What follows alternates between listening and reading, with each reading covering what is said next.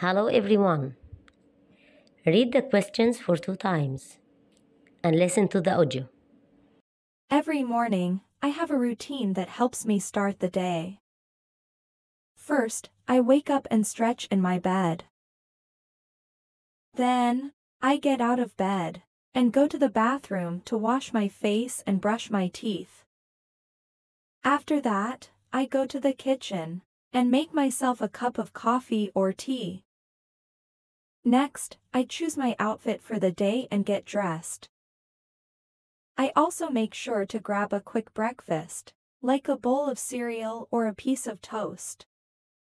Once I'm ready, I leave my house and head to work.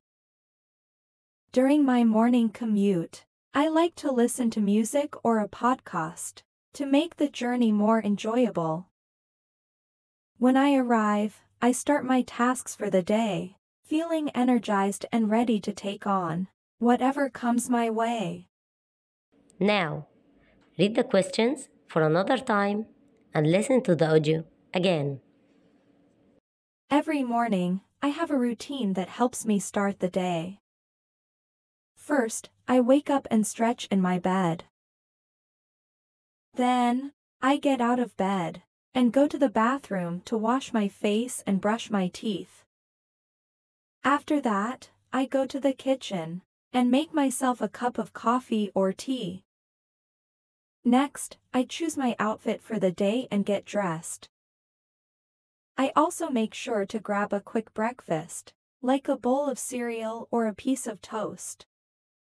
Once I'm ready, I leave my house and head to work.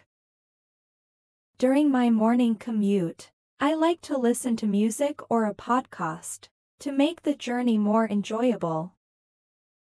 When I arrive, I start my tasks for the day, feeling energized and ready to take on whatever comes my way.